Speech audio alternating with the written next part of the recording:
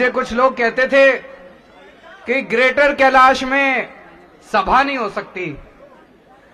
मैं आप सब लोगों का शुक्रगुजार हूँ, इतनी ठंड में रात के टाइम पे आप अपने अपने घरों से निकल के आए हैं और इतनी बड़ी मात्रा में, इतनी बड़ी संख्या में आज आप सब लोग हमारे समर्थन के लिए, हमारा उत्साह बढ़ाने के लिए यहाँ इकट्ठे हुए हैं। इसके लिए मैं आप लोगों का शुक्रगुजार हूँ, तहे दिल से आपका शुक्रिया करता हूँ। आप सब लोगों को मेरा नमस्कार। सबको मेरा प्रणाम। दोस्तों, पाँच साल पूरे हुए। बहुत मेहनत की हमने पाँच साल। रात दिन खूब लगन से काम किया, खूब ईमानदारी से काम किया। स्कूल अच्छे करे, अस्पताल अच्छे करे, बिजली, पानी, सड़क, नाली, गली, सीसीटीवी, कैमरे डेंगू खूब सारे काम करे। हैं जी? हाँ शुक्रिया। एक परिवार का एक बड़ा बेटा होता है ना जैसे, एक परिवार में सारी ज़िम्मेदारी बड़े बेटे की होती है। बिजली का बिल आया तो बड़ा बेटा भरेगा। पानी का बिल आया तो बड़ा बेटा भरेगा। घर में कोई बीमार हो जाए, उसके इलाज की ज़िम्मेदारी बड़े बेटे की। माँ बाप को तीर्थ यात्रा करा के लानी है, बड़ा बेटा कराएगा। घर में जितने छोटे बच्चे हों, सबकी पढ़ाई लिखाई की ज़िम्मेदारी बड़े बेटे की। पिछले पाँच साल में दिल्ली के हर परिवार का बड़ा बेटा बनने की कोशिश करी है मैंने। आपके घर के बिजली का बिल, हमारी ज़िम्मेदारी। आपके घर के पानी का बिल, हमारी ज़िम्मेदारी। अपने घर में जितने बुज़ुर्ग हैं, उन सबको तीर्थ यात्रा कराने की कोशिश करी। घर में कोई बीमार हो गया, उसका इलाज कराने की कोशिश करी। घर में जितने बच्चे थे, उनको अच्छी से अच्छी पढ़ाई मिले। इसकी सबकी कोशिश करिए मैं अपनी तारीफ़ करूँ अच्छा नहीं लगता। आपसे पूछना चाहता हूँ। बिजली 24 घंटे आने लग गई है। किस किस के बिजली के बिल ज़ीरो हो गए? जरा हाथ खड़े कर देना। बताओ, ग्रेटर कैलाश वालों के भी सबके बिजली के बिल ज़ीरो हो गए। तीन महीने से बाबूजी के बिल ज़ीरो आ रहे हैं, कह रहे हैं। ऐसा चमत्कार पूरी दुनिया में पहली बार हो रहा है। 24 घंटे बिजली फ्री बिजली, पूरी दुनिया में कहीं नहीं है ऐसे। 24 घंटे बिजली, फ्री बिजली। अच्छा बताओ, स्कूल ठीक हो गए? सरकारी स्कूल। प्राइवेट स्कूलों की भी फ़ीस बढ़ाने नहीं दी। गलत तो नहीं कह रहा? अस्पताल ठीक हो गए? बहुत सारे काम करे हैं जी पिछले। और डेंगू, हम सब लोगों ने मिलकर डेंगू पे कंट्रोल करा। इस बार एक भी मौत नहीं हुई। दिल्ली के लोगों पे गर्व है मेरे को। आप सब लोगों पे गर्व है मेरे को। आप लोगों ने करके दिखाया ये। दस हफ़्ते, दस बजे, दस मिनट।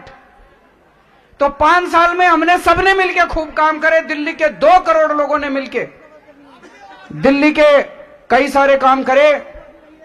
अब अगले पाँच साल दिल्ली को नेक्स्ट लेवल पे ले जाना है। तो मैंने अभी पिछले दिनों दस गारंटी दी है। कि भाई केजरीवाल की दस गारंटी है अगले पाँच साल में। पर केजरीवाल आपके बिना कुछ नहीं है, मैं कुछ नहीं हूँ, मैं बहुत छोटा सा आदमी हूँ, मेरी ताकत आप लोग हैं। तो मैं आपके सामने एक एक गारंटी रखूँगा, आपसे पूछूँगा, भाई मैं सही बोल रहा हूँ या गलत बोल रहा हूँ, आप बता देना ये गारंटी सही है कि नहीं है। पहली चीज़, ये जो 24 घंटे बिजली आ रही है, ये अगले पाँच साल जारी रहेगी, पावर कट नहीं लगेंगे दिल्ली के अंदर। मंजूर है?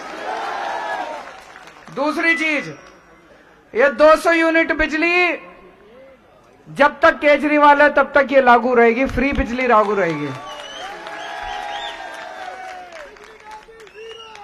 बिजली का बिल ज़ीरो। जब तक ये बीजेपी वाले कह रहे थे कि इकतीस मार्च को खत्म हो जाएगी, इकतीस मार्च को, मैं जब तक आपके साथ हूँ, जब तक मैं हूँ, तब तक ये बिजली का बिल ज़ीरो रहेगा, आपका 200 यूनिट बिजली फ्री रहेगी। तीसरी चीज़। अब हमने आपकी जानकारी के लिए बता दूँ, जब हमारी सरकार बनी थी ना, अट्ठावन प्रतिशत दिल्ली में पाइपलाइन से पानी आता था, टूटी से। बाकी सारी दिल्ली में टैंकरों से पानी जाया करता था। खूब मेहनत करके आज 93 परसेंट तिरानवे प्रतिशत दिल्ली में हमने पाइपलाइन बिछा दी पाँच साल के अंदर। बची हुई सात परसेंट दिल्ली में भी अगले डेढ़ दो साल में बिछा देंगे। सौ परसेंट दिल्ली में अब टूटी से पानी आया करेगा। लेकिन आज भी किसी एरिया में घंटे भर पानी आता है, किसी एरिया में दो घंटे आता है, किसी में कई कई जगह तो दो दो दिन में एक बार आता है। यह सही नहीं है। दिल्ली देश की राजधानी है। आप दूसरे देश की राजधानियों में जाते हो 24 घंटे पानी आता है। मैंने आपके पानी का इंतज़ाम कर लिया। अगले पाँच साल के अंदर आपकी टूटी में 24 घंटे पानी आया करेगा। और साफ़ पानी आया करेगा। होना चाहिए, नहीं होना चाहिए? अगले पाँच साल का अब अपना एक ये मिशन है। इसको पूरा करेंगे 24 घंटे पानी आएगा, साफ़ पानी आएगा। अगली चीज़, यमुना बड़ी गंदी है। साफ़ करना है इसको? मिलके करना है, आपके बिना नहीं कर सकता मैं। आप कह रहे हो इसलिए मैं गारंटी में डाल रहा हूँ। मंजूर है ना? एक बार हाथ खड़े करके कह दो यमुना में। अच्छा आप में से कितने लोग गंगा नहा के आए हुए हो? काफ़ी लोग गए हैं यहाँ पे। अब आपको यमुना में ज़रूर नहलाऊँगा मैं। पाँच साल अगले चुनाव के पहले मैं भी आपके साथ चलूँगा, यमुना में डुबकी लगा के आएँगे। इतनी साफ़ कर देंगे यमुना। मंजूर है? अगली गारंटी। अपने को दिल्ली का ट्रांसपोर्ट ठीक करना है। बसों की कमी है, उसको पूरा करेंगे, ग्यारह हज़ार बसें उतारेंगे, मेट्रो को ठीक करेंगे, सबका कॉमन कार्ड बनाएँगे, और ऐसी व्यवस्था कर रहे हैं, आधी से ज़्यादा लागू भी हो गई, जैसे आप बस पकड़ने जाते हो, पता ही नहीं बस कितनी देर में आएगी आएगी नहीं आएगी। अब एक ऐप दे देंगे आपको। आपको घर बैठे पता है कि मेरी बस स्टैंड के ऊपर बस कितनी देर में आएगी। आप घर के, घर उसी हिसाब से निकलोगे। आपको पता है मेरी बस कितनी देर में पहुंचाएगी? और लग्जरी बसेस भी ला रहे हैं। जिनके पास पैसे हैं, हम चाहते हैं कि लोग अपने कारें छोड़ छोड़ के बसों में जाएँ। तो आपके लिए लग्जरी बसेस लेके आएँगे। तो दिल्ली की ट्रांसपोर्ट व्यवस्था को हम बिल्कुल इंटरनेशनल स्टैंडर्ड का बनाएँगे। बनाना है, नहीं बनाना? सही चीज़ है ना? अगला पोल्यूशन कम करना है। करना है? सारे दुखी है, मैं तो सबसे ज़्यादा, मेरी खांसी अभी भी आ रही है, देखो। सबसे ज़्यादा भुक्तभोगी मैं हूँ। पोल्यूशन दूर करना है, इसके लिए भी पूरी प्लानिंग हमने की हुई है। दिल्ली को साफ़ करना है। दिल्ली बहुत गंदी हो गई है। चारों तरफ़ कूड़ा, कचरा। है कि नहीं है? कहीं मलबे के ढेर हैं, कहीं कूड़े के ढेर हैं, नालियाँ बह रही हैं, सीवर ओवरफ्लो कर रहे हैं। इसको सबको साफ़ करना है, और हो सकता है जब स्कूल ठीक कर सकते हैं, अस्पताल ठीक कर सकते हैं, बिजली ठीक कर सकते हैं, पानी ठीक कर सकते हैं तो दिल्ली को साफ़ भी कर सकते हैं। और एक और नई चीज़ ला रहे हैं इस बार। बसों में मार्शल लगा दिया आपके लिए, महिलाओं की सुरक्षा की।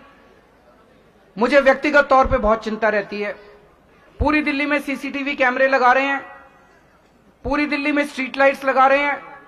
बसों में मार्शल्स की नियुक्ति कर दी। अब हर मोहल्ले के अंदर हम मार्शल्स की नियुक्ति करने जा रहे हैं पूरी दिल्ली के अंदर।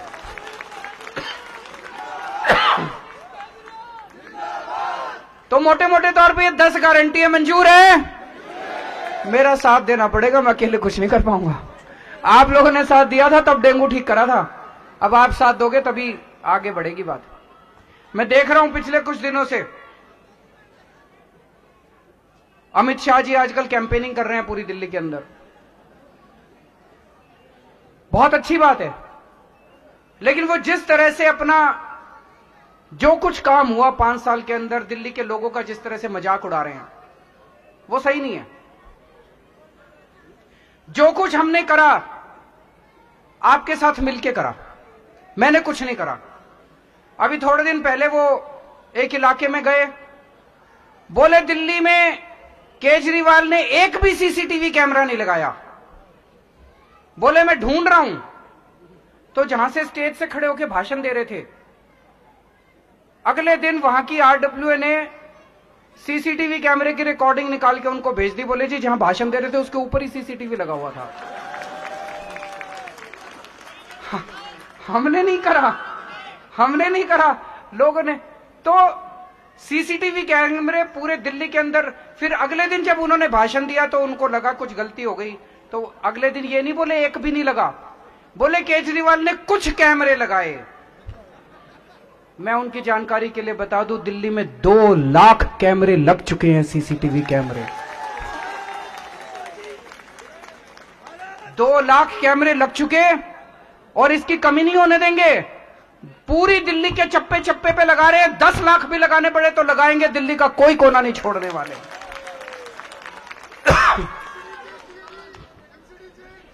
पर मैं उनसे पूछना चाहता हूँ। दिल्ली तो छोटा सा राज्य है।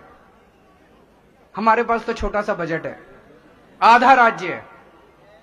हमने दिल्ली में दो लाख कैमरे लगा दिए। पाँच साल में आप एक ही कैमरा लगवा देते, कहीं तो लगवा देते। नहीं, गाली गलौज करने से क्या फ़ायदा है? तुमने एक भी नहीं लगाया। अरे आप लगवा दो जी, दो चार आप भी लगवा दो। अच्छे काम में तो सबको आहुति देनी चाहिए, थोड़ा सा आप भी डाल देते। सारा निर्भया फंड तो आप ही के पास पड़ा है। दो चार आप भी डाल देते, दो चार आप भी लगवा देते। उसके बाद पूरी दिल्ली में शिक्षा क्रांति हो रही है। सरकारी स्कूल इतने अच्छे हो गए, सरकारी स्कूल शानदार हो गए, प्राइवेट स्कूलों की फ़ीस नहीं बढ़ने दी। पूरे देश के अंदर चर्चा हो रही है। और ये मैंने नहीं किया। अपने दिल्ली के लोगों ने किया। मैंने क्या किया? हमने स्कूलों की बिल्डिंग अच्छी कर दी। हमने स्कूलों के अंदर सारी व्यवस्था कर दी। इस साल दिल्ली के सरकारी स्कूलों के नतीजे 96 परसेंट नतीजे आए हैं 96 परसेंट और दिल्ली के प्राइवेट स्कूलों के नतीजे 93 परसेंट आए हैं। भारत के इतिहास में पहली बार हो रहा है सत्तर साल में किसी भी राज्य में कि सरकारी स्कूलों के नतीजे प्राइवेट से ज़्यादा अच्छे आ रहे हैं।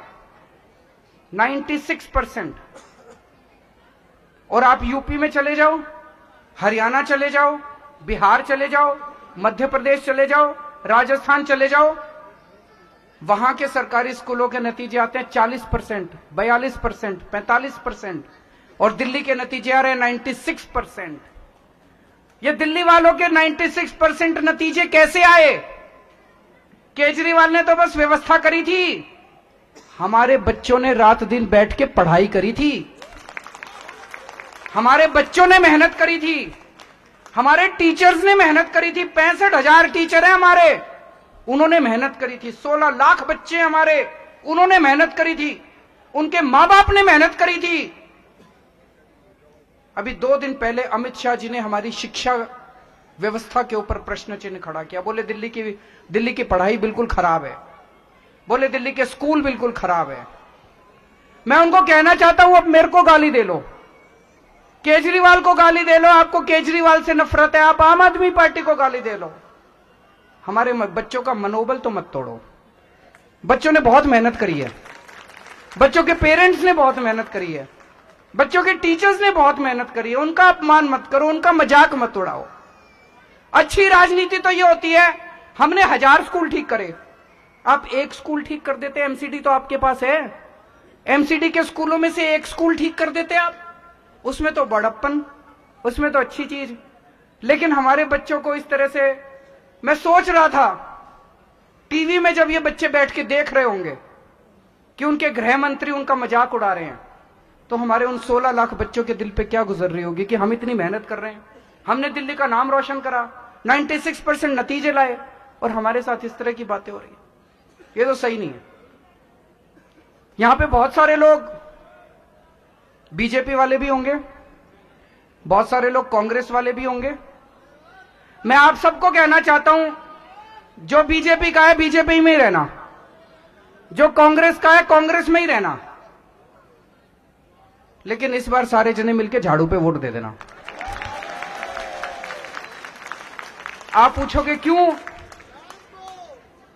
वो इसलिए क्योंकि भाई साहब, पिछले पाँच साल में बहुत मेहनत करी है। बहुत मेहनत करके ये स्कूल अस्पताल ठीक करे हैं। अब अगर आपने किसी और को वोट दे दिया, ये स्कूल अस्पताल फिर खराब हो जाएँगे। मैं अपने लिए वोट नहीं मांग रहा। केजरीवाल को मुख्यमंत्री बनने की कोई इच्छा नहीं है। मैं दिल्ली के लिए वोट मांग रहा हूँ, मैं अपने बच्चों के भविष्य के लिए वोट मांग रहा हूँ, मैं आपके परिवार के लिए वोट मांग रहा हूँ। मैं स्कूल और अस्पताल जो अच्छे हुए सत्तर साल में पहली बार ऐसा हुआ है कि स्कूल और अस्पताल अच्छे हो रहे हैं, सरकारी स्कूल इतने अच्छे हो रहे हैं, सरकारी अस्पताल इतने अच्छे हो रहे हैं। इसको रुक, रोकने मत देना, इस पर ब्रेक मत लगा देना आप। एक बार के लिए सारे जन अपनी पार्टी भूल जाओ। एक बार के लिए सारे जने अपनी पार्टी भूल जाओ और इस बार सारे जने अपने बच्चों के लिए और दिल्ली के लिए वोट दे देना, सारे जने झाड़ू पे वोट दे देना।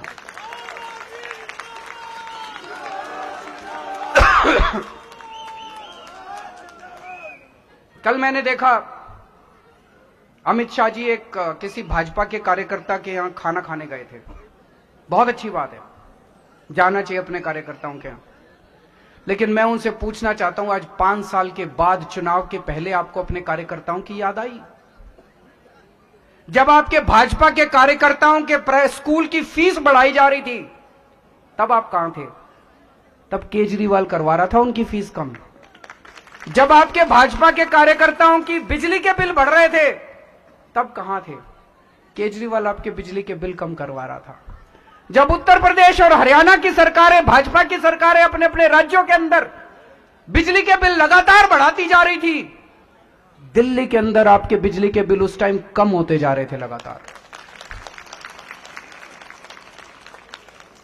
जब पूरे देश के अंदर आप लोगों ने महँगाई कर रखी है, पूरे देश के अंदर ऐसा सिस्टम कर रखा है कि लोगों का खर्चा नहीं चल रहा। दिल्ली के अंदर लोगों को थोड़ी सी राहत मिल रही है। बिजली के बिल ज़ीरो हो गए, पानी के बिल ज़ीरो हो गए, शिक्षा मुफ़्त हो गई, स्वास्थ्य मुफ़्त हो गया, दवाइयाँ मुफ़्त हो गई, महिलाओं का किराया मुफ़्त हो गया। तो दोस्तों, अपने को ये जो राजनीति आप लोगों ने शुरू की है, पाँच साल पहले आप लोगों ने ये राजनीति शुरू करी थी। पाँच साल पहले आपने एक नई नई पार्टी को वोट दिया था। आपको लगा ये ईमानदार लड़के हैं नए नए लड़के हैं। संघर्षशील हैं, डरते नहीं है किसी से, इनको एक मौका मिलना चाहिए। आपने दोनों पार्टियों को, एक को तीन सीट दी, एक को ज़ीरो सीट दी, और हम लोगों को मौका दिया। पाँच साल के अंदर आपकी सरकार ने इतने काम करे हैं। आज पाँच साल के बाद आपके पास एक और मौका आया देश की राजनीति बदलने का। इस बार काम के ऊपर वोट पड़ना चाहिए, धर्म और जाति के ऊपर वोट नहीं पड़ना चाहिए। मैं आपसे पूछना चाहता हूँ, सत्तर साल में मेरे तो इतनी उम्र नहीं है, या बहुत सारे एक्सपीरियंस्ड लोग बैठे हैं। सत्तर साल में भाई साहब याद करके बता दो, भारत के इतिहास में किसी राज्य में कभी किसी पार्टी ने इस बात के वोट मांगे हो कि हमने स्कूल अच्छे कर दिए, इसलिए वोट दे दो। बताओ जी, कभी किसी ने मांगे? पूरे भारत के सत्तर साल के इतिहास में किसी पार्टी ने कहा जी, हमने अस्पताल अच्छे कर दिए, इसलिए वोट दे दो। हम लोग हमेशा सोचा करते थे, ना यार, ये सरकारें बनती हैं, कुछ हमारे काम तो होती नहीं। एक बार ये, एक बार वो, एक बार ये, एक बार वो, यूँ ही चलता रहता था। पहली बार एक सरकार आई है, आपकी अपनी सरकार आई है, ईमानदार सरकार आई है, जो आपके स्कूल अच्छे कर रही है, आपके अस्पताल अच्छे कर रही है, आपकी बिजली अच्छी कर रही है, आपका पानी अच्छा कर रही है, आपके सीसीटीवी कैमरे लगा रहे हैं, का डेंगू ठीक कर रही है, इतने सारे काम कर रही है। इस बार सारे जने मिलके एक बार फिर से अपने को राजनीति बदलने का मौका आया है। आठ तारीख को चुनाव है आठ तारीख को इस बार सारे जने जाना और झाड़ू पे इतना बटन दबाना, इतना बटन दबाना, इतना बटन दबाना, बटन ही खराब हो जाए। भारत माता की!